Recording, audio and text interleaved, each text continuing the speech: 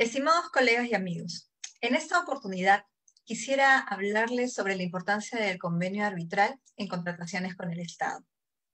En la actualidad, la existencia de una cláusula arbitral en los contratos en donde interviene el Estado como parte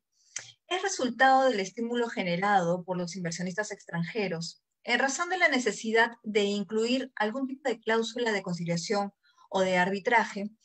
en los contratos que suscribían con el Estado. Ello producto a la búsqueda de optimizar los medios de solución de controversias que podrían eh, presentarse durante el desarrollo de estos mismos.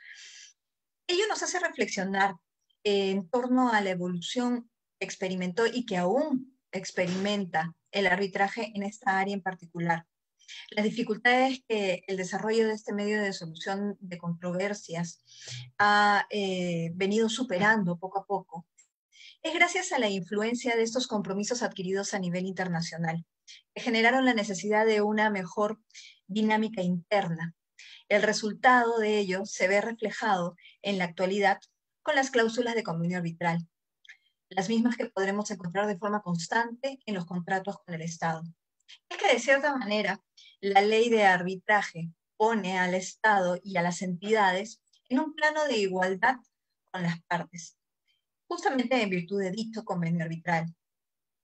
En este punto, creo importante señalar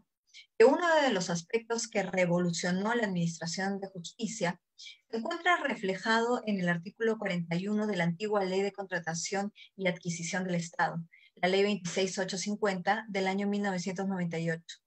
La misma que estableció como cláusula obligatoria en los contratos de adquisición y contratación la de solución de controversias, indicando que de existir alguna discrepancia, ya sea en la ejecución o en la interpretación de un contrato,